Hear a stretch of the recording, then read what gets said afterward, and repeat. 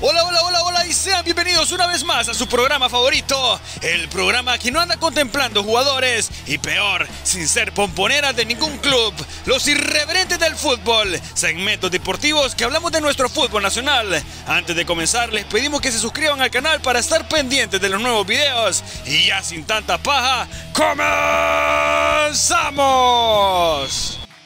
La consagración de Olimpia en CONCACAF hace del fútbol hondureño un destino atractivo para los entrenadores internacionales. No solo Troglio y la Tota Medina vieron con buenos ojos arribar a tierras hondureñas.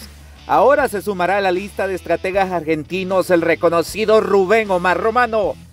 Romano reveló que fue contactado por un club de la capital industrial que ya tiene sobre la mesa una importante y jugosa oferta para traerlo a Honduras.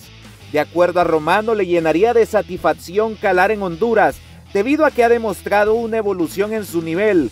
Y si no recordemos que se han mantenido vigentes en las fases finales de Liga CONCACAF y Champions League.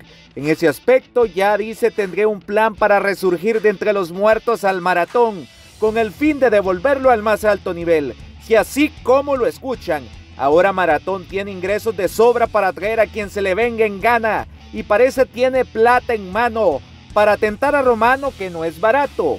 Un técnico con mucha experiencia en México, donde se pagan salarios estratosféricos, está en el visor del Necaxa, pero estaría prefiriendo a Maratón por el reto que significaría en su carrera. Todo dependerá de Orinson Amaya y su capacidad de negociación. No vendría nada mal traer a Honduras un entrenador de quilates como Romano, que si bien no es la gran cosa porque casi no ha ganado nada, es un hombre mediático que le daría mayor mercadeo a la Liga Nacional de Honduras. Y definitivamente que los hondureños solo hablamos de Albert y el Choco Lozano como exponentes en Europa, pero nos olvidamos de un joven que está teniendo una temporada de ensueño en el viejo continente, Luis Palma. Ya no le digo Vinicius Palma porque ambos ya aprendieron a definir, pero el jugador ha tenido una evolución impresionante.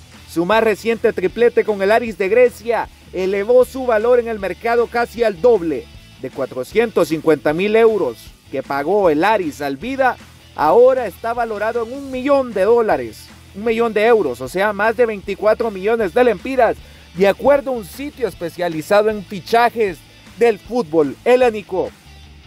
Y entre las noticias cortas, Fabián Coito fue despedido oficialmente del Alajuelense luego del fracaso cosechado tanto en Liga con CACAF como en liga local. En liga CONCACAF perdió la final contra el Olimpia, mientras en Costa Rica fue eliminado en semifinales, lo cual no fue del gusto de la directiva de la Alajuela que decidió por mutuo acuerdo la sesión del entrenador.